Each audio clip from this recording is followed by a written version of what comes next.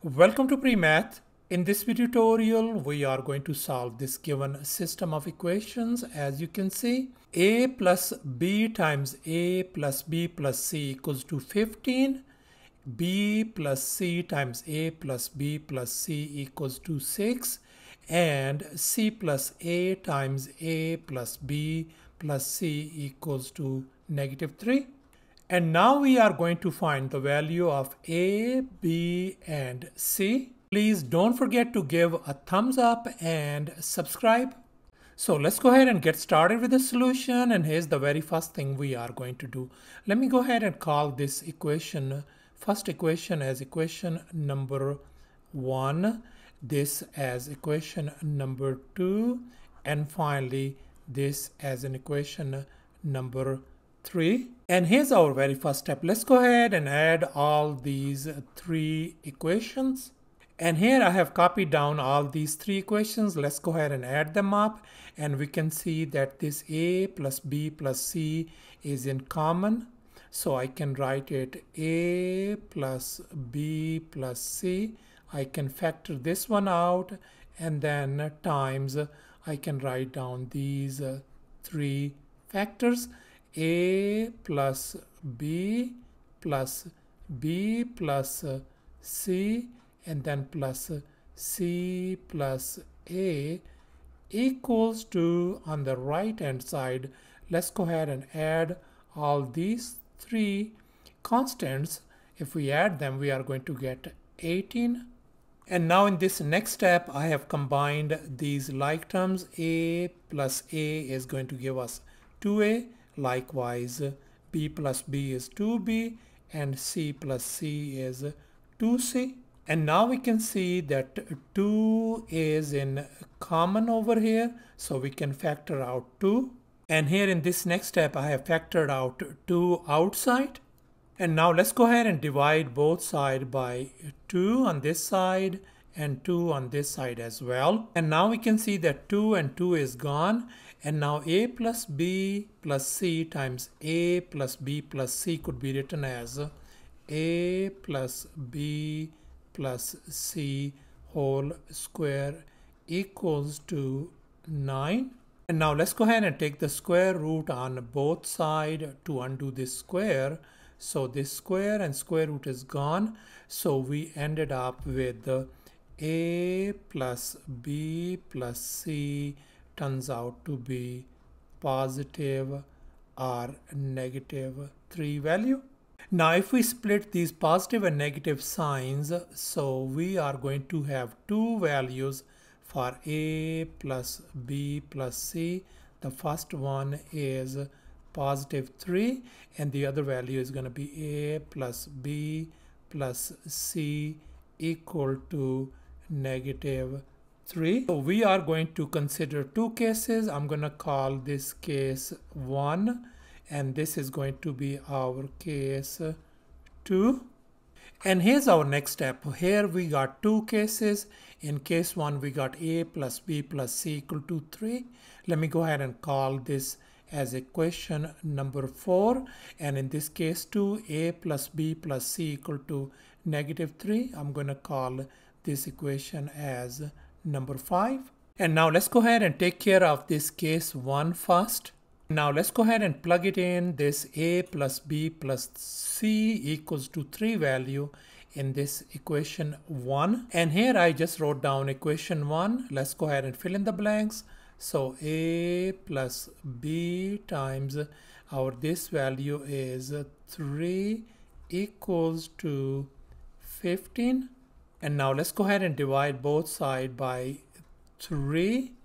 So therefore, we are going to get this 3 and 3 is gone. So our a plus b value turns out to be 5. And now let me go ahead and call this equation as number 6. Now let's go ahead and plug it in this a plus b equals to 5 value in this equation 4. And here's our equation 4. Let's go ahead and replace this uh, a plus b value by this 5. So we're going to have a 5 plus c equals to 3. Now let's go ahead and subtract 5 from both sides. This is gone. So that means our c value turns out to be simply negative. 2.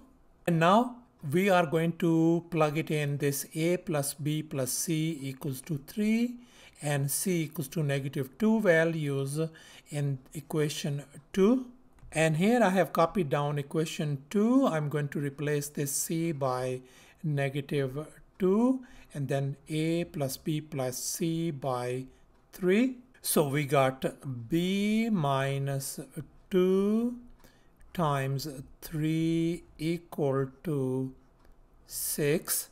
Now let's go ahead and divide both side by 3. This is gone. So that means our b minus 2 value turns out to be 2.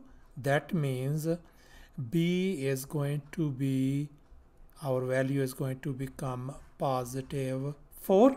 And finally, let's go ahead and plug it in this b equals to 4 value in this equation 6. And here's our equation 6. Let's go ahead and replace b equals to 4 value. So a plus 4 equals to 5. So that means our a value is going to be simply 1. So thus we figured out our A equals to 1 value, B is 4 and C is negative 2.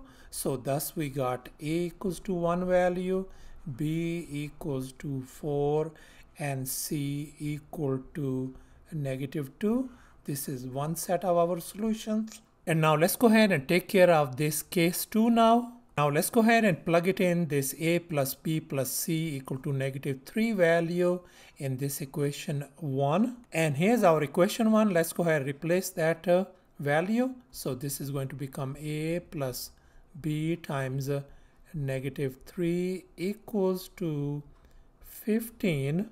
Now let's go ahead and divide both sides by negative 3. This is gone. So that means our a plus b value turns out to be negative 5. Now let me go ahead and call this equation as number 7. Now let's go ahead and replace this a plus b equals to negative 5 value in this equation 5. And here's our equation 5. Let's go ahead and replace a plus b by negative 5 and then plus c equal to negative 3. Now let's go ahead and add 5 on both sides. This is gone. So our C value turns out to be simply positive 2. Now let's plug it in this uh, a plus b plus c equal to negative 3 value and c equals to positive 2 value in equation 2. And here's our equation 2. Let's go ahead and fill in the blanks. So b plus c value is 2 and then times a plus b plus c value is negative 3 equal to 6. Now let's go ahead and divide both sides by negative 3. This is gone. So our this uh, b plus 2 value turns out to be negative 2 which means our b value is going to be negative 4. And finally, let's replace this b equals to negative 4 value in this equation 7. And here's our equation 7. Let's go ahead and replace b by negative 4. So that's going to become a minus 4 equals to negative 5. Let's go ahead and add 4 on both sides. This is gone. So our a value simply turns out to be negative 1. So thus our a value turns out to be negative 1 b value is negative 4 and c value is positive 2 for our case 2. So our solution for this case turns out to be a equals to negative 1, b equals to negative 4 and c equal to positive 2. And thus here are our two sets of solutions as you can see over here. Thanks for watching and please don't forget to subscribe to my channel for more exciting videos. Bye.